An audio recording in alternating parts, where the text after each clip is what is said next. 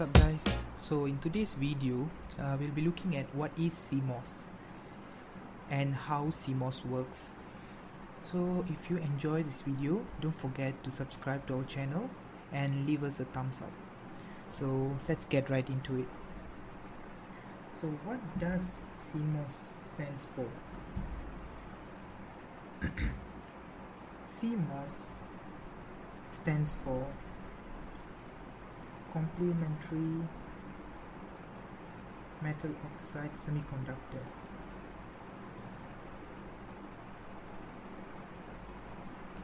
Right?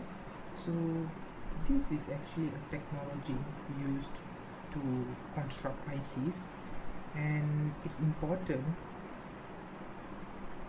in the sense that it's, it can be used to perform logical functions. Okay so when we talk about CMOS here there are two important things that we should mention which is the PMOS and also the NMOS so this PMOS is actually a p-type MOSFET and it can be represented with this symbol here. And this PMOS takes voltage as input and has output down here and for this a closed circuit of um, a PMOS will give us a logical function of 0 whereas if the circuit is open it will give us a logical function of 1 for the NMOS it is represented by this symbol here and if we have a closed circuit we have a logical function of 1 and for open circuit we'll have a logical function of 0 so as you can see here this PMOS and NMOS actually works in opposite ways. So when we say uh, CMOS or a complementary metal oxide semiconductor we can construct one using these two. The first one uh, let's say we have a very simple uh, CMOS here which is the input with the PMOS here we have the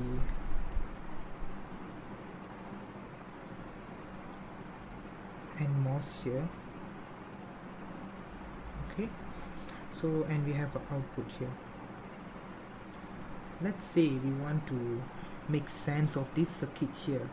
Now we know that this particular circuit takes in a voltage here and this is the ground right? So okay I forgot to mention here. So this is the uh, output and this would be the ground for the NMOS so when we have a circuit here we see this is our PMOS and this our NMOS so this is what we mean by a complementary metal oxide semiconductor. So when we have an input let's say we have an input and an output. Let's say the input is 1 when the input is 1 we know that our PMOS here is an open circuit so there is no voltage flow to the output. Hence we'll be getting a logical uh, function of 0 for as our output. If our input is 0 we know that there will be a flow of current or voltage to the output giving us an output of 1 so if we look at this it, it is actually an inverter circuit so an inverter circuit is where our output is opposite of our input. And in other words this is also a NOT gate. So if you remember your logic gates so this is a NOT this is our NOT gate which is uh, represented by this symbol here. So this, so this is the basic of CMOS here and in our next video we'll be talking about more uh, logic gates and how we can use CMOS to construct each logic gate. So see you guys in the next video. And as usual don't forget to subscribe and leave a thumbs up. Thank you